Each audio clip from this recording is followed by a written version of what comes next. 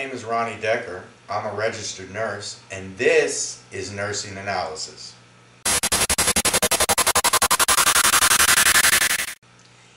In today's lesson, we will be discussing EKG abnormalities. Let's review a normal EKG rhythm before we begin discussing abnormal rhythms. Please refer to my previous video on basic EKG interpretation for a full explanation.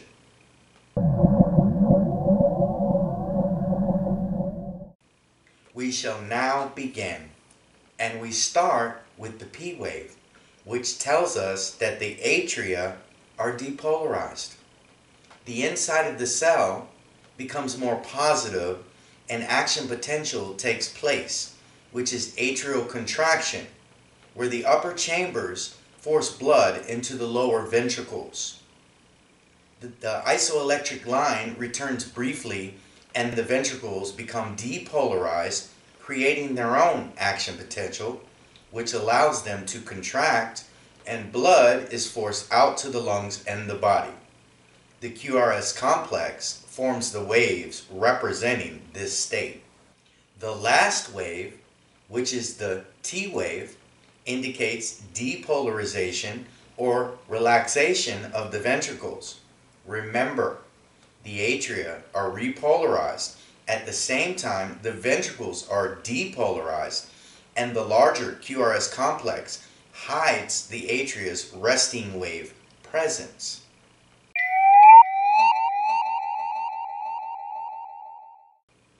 So now that we have reviewed basic concepts, we can now go into abnormal waveforms and their corresponding meanings.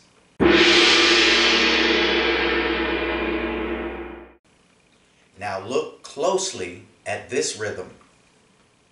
The ST segment is usually observed with a smooth transition from the isoelectric line into the rise of the T wave. This rhythm shows the S wave elevating above the isoelectric line and there is no uniform T wave. They are merged together above the isoelectric line, which is known as ST segment elevation. The ST elevation is commonly known as a STEMI, which means ST segment elevation myocardial infarction.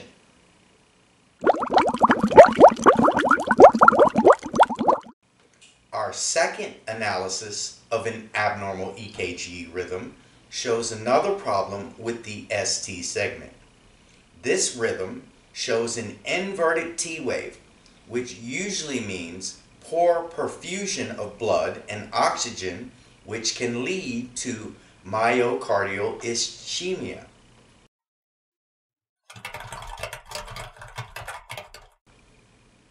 The next abnormal EKG rhythm shows a prolonged PR interval. The normal PR interval time is 0.12 to 0.20 seconds. There are different problems that can occur with prolongation of the PR interval, so it is important to note if the prolongation is consistent, and this seems to be in the case in this rhythm.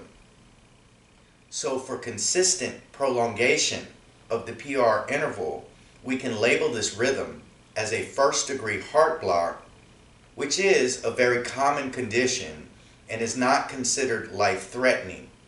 Everyday stress can produce this response.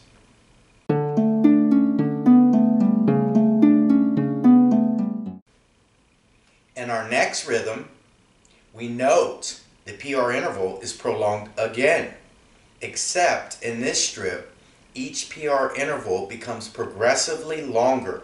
And by the time we make it to the third P wave, notice there is no QRS complex following it. This is called a dropped QRS complex. It then continues back to another P wave.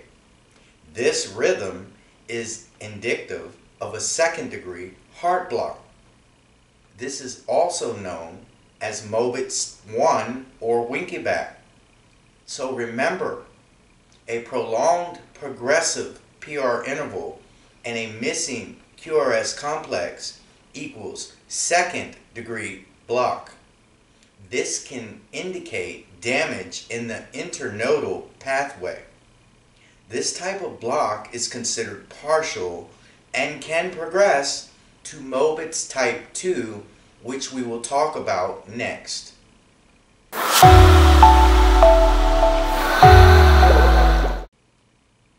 Now look at this rhythm and notice the PR interval is normal, which differs from the other two rhythms. So in second degree heart block, Mobitz type 2, the PR interval is normal, but there is still a dropped QRS complex, which leaves us with a long isoelectric wave that indicates no positive activity taking place in the heart. Everything as far as activity stops at the ventricular level. The P wave activity continues, but the activity does not reach the ventricles, and this is second degree heart block Mobitz type 2.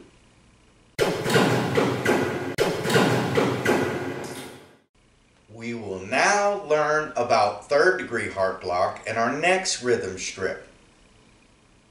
This heart block is considered to be a complete heart block.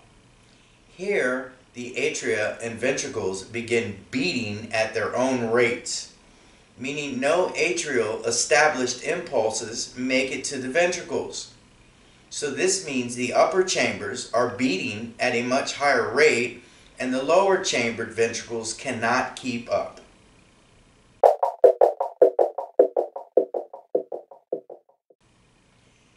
Next, we will, shall now discuss Wolff Parkinson's White syndrome and this wave abnormality looks like this.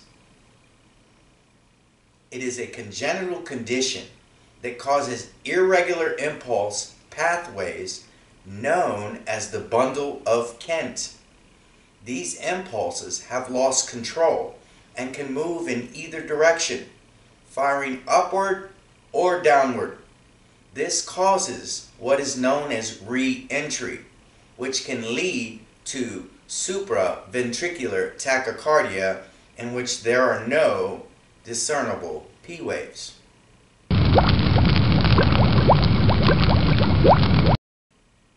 Now we will review this rhythm. As you can see, it shows sawtooth structures that are supposed to be P waves or normal P waves.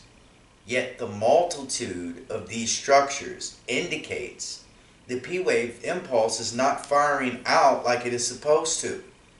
It begins re-entry and cycles within itself, eventually reaching the proper pathway, which is indicated by the QRS complex.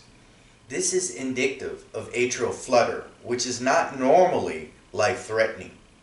This can be caused by abnormal levels of thyroid hormones, valve prolapse, or MIs it can progress into atrial fibrillation, which we will talk about next.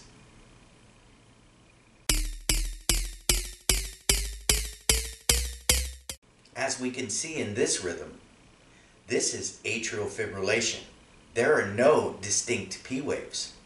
The multitude of P waves barely rise from the isoelectric line and they differ in height and shape from those observed in atrial flutter, as their appearance would be deemed shorter than those in the sawtooth appearance of atrial flutter. AFib is notorious for causing thrombi, or clotting of the blood, as the consistent flow becomes interrupted by this abnormality in the atria.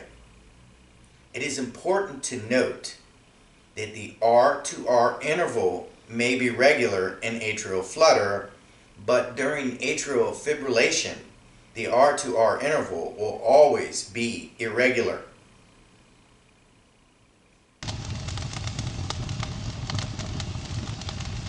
Our next abnormality is the premature ventricular contraction, which can be elicited by smoking or caffeine.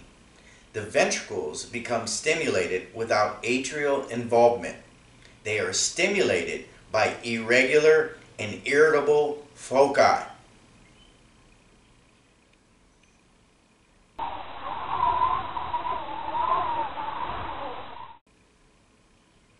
This next rhythm we are reviewing is known as torsades de pointes.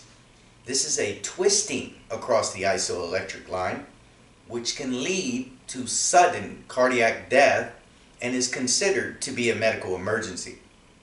This condition is caused by prolonged QT activity, which is usually caused by a severe electrolyte imbalance.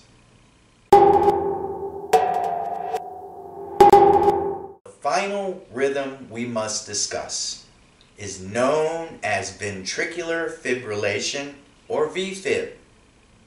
It occurs due to rapid erratic impulses in the heart which cause the ventricles to quiver and not pump effectively. This condition can be triggered by an MI because the heart doesn't pump adequately during ventricular fibrillation. Sustained ventricular fibrillation can cause low blood pressure, loss of consciousness, and can even lead to death.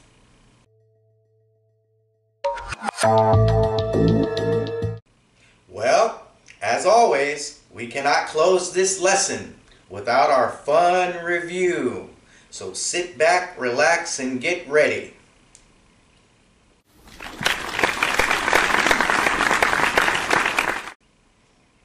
We started this lesson with rhythm inspection.